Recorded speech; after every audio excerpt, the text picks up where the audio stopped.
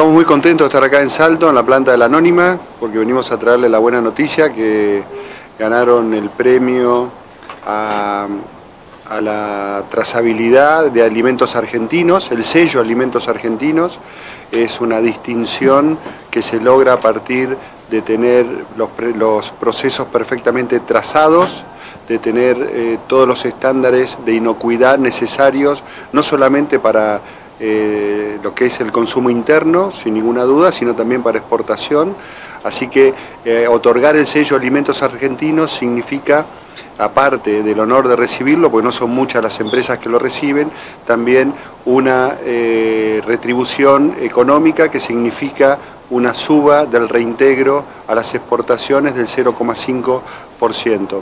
Así que de esta manera la anónima ingresa al grupo de empresas alimenticias que han sido objeto de esta distinción y por otro lado continúan el camino de seguir invirtiendo, generando empleo y como nos propone el presidente Macri desde que asumió en el año 2015, trabajar para convertirnos en supermercado del mundo. Ejemplos como este, como esta empresa, hacen que no solamente se genere empleo, sino que algo mucho más importante que es que haya arraigo,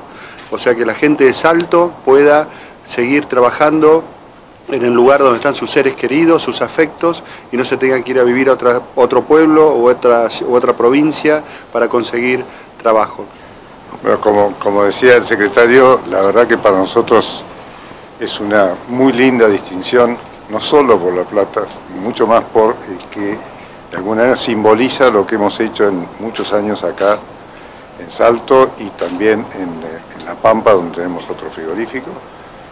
porque es eh, fruto de un esfuerzo, de una, meta que tenemos en la Anónima. Nuestra misión es calidad, surtido y servicio al mejor precio posible. El tema de la calidad está instalado en toda nuestra gente. Y entonces poder ser el primero que en, el sector carne reciba este, este premio es realmente una enorme satisfacción y es un aliciente a seguir en ese camino para ser cada vez mejor, más importante, exportar más, que todos nuestros supermercados cuenten con esa calidad, la cual nos, llena de orgullo. Bueno, el sector, por suerte, yo creo que es un ejemplo de cómo esto se gestó hace unos cuantos años como la mesa de las carnes, en donde nos pudimos poner de acuerdo todos los eslabones de la cadena, lo que se llama un clúster. Y esto ha permitido que la Argentina en estos últimos años creciera en sus exportaciones y que lograra cosas que parecían imposibles hace solo cuatro años. Y creemos que esta es la mejor manera con la integración público-privada y además con la presencia de todos los actores. están los trabajadores, están los frigoríficos, están las curtiembres, salvo las curtiembres, están todos los otros sectores.